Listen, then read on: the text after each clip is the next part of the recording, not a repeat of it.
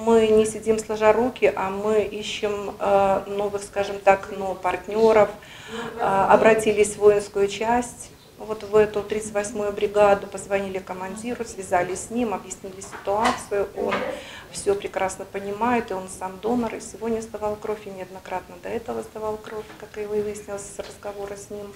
И он охотно согласился организовать выезд на базе своей 38-й бригады, и к нам на станцию присылал бойцов, за что им огромное спасибо. И вот сегодня мы здесь работаем с ребятами. Запрос был принят, реакция поступила незамедлительно, и вот уже около 50 военнослужащих в голубых беретах всех званий на позиции стоят по стойке смирно и ждут своей очереди у двери кабинета, где ведут свою работу специалисты Брестской станции переливания крови. Совершенно разные бойцы, для большинства из них это первый опыт донорства, для кого-то повторный, но все они совершенно точно не испытывают страха и знают, зачем пришли. Я надеюсь, что моя кровь кому-то поможет. Мало ли кому-то нужна будет помощь, именно моя кровь подойдет. Хочу помочь людям.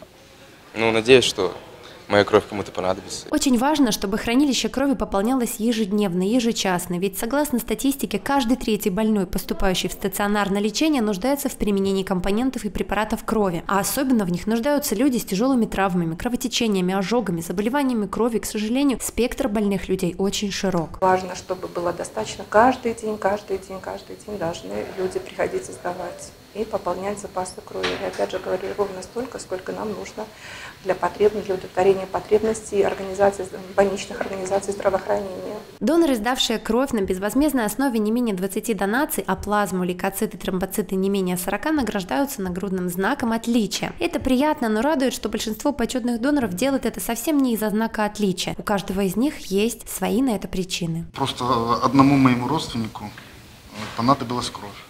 Вот. И в тот момент было довольно-таки проблематично ее найти. И один раз столкнувшись с этим, я решил, что буду заниматься этим постоянно. Для многих голубых беретов приезд специалистов Брестской станции переливания крови к ним в родные стены – это отличный повод сделать это впервые. Вместе с этим нельзя не отметить факт, что это довольно удобно для большинства кроветарителей. Первый раз сегодня сдаю кровь. Задумывался, но как-то, наверное, времени что ли не хватало. А тут подвернулась такая возможность, что все само к тебе в руки идет, то я решил ей воспользоваться. Понимаю, что моя кровь делает благое дело, она кому-то поможет. Первый раз и второй. Вообще я собираюсь это делать на постоянной основе с этих пор.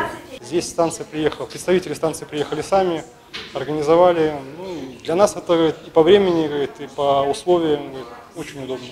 Сдавал кровь э, давно, это 24 года назад. Э, ну, на данный момент Пробовал несколько раз сдавать на станции переливания крови, но, как правило, сталкивался с огромной очередью, не выстаивал ее. В данный момент решил принять участие в этой акции.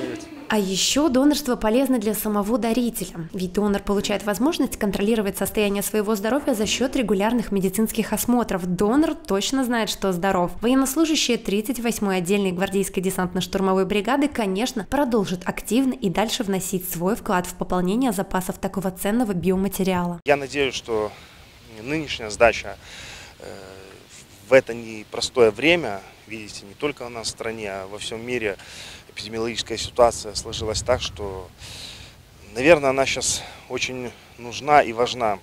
И я надеюсь, что моя сдача кому-нибудь да поможет, э, а возможно даже кому-нибудь и спасет жизнь. Данная сдача крови это будет не последняя, а в дальнейшем мы очень тесно планируем сотрудничать э, с медицинскими учреждениями города Бреста. Алена Миневич, Александр Воронин, Александр Макаревич, телекомпания Бук ТВ.